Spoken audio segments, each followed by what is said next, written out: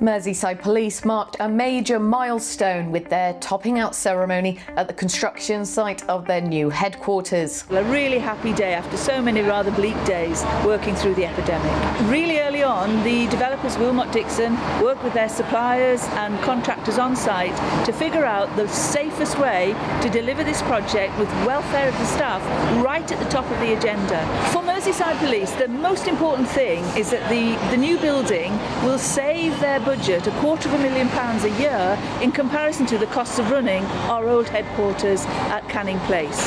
That's really important because that means a quarter of a million pounds going to the front line every year. We've sort of done it in a non-judgmental way. If people aren't happy to come back to work, they don't need to.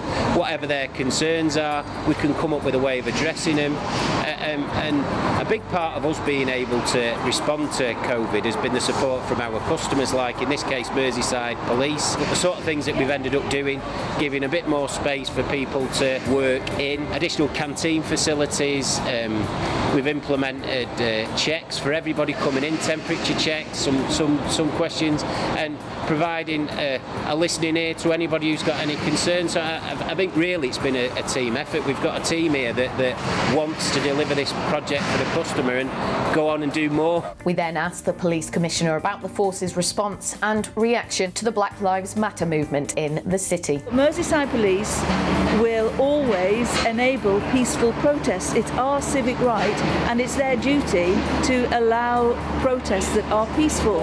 Um, what is really important though is that they stay peaceful.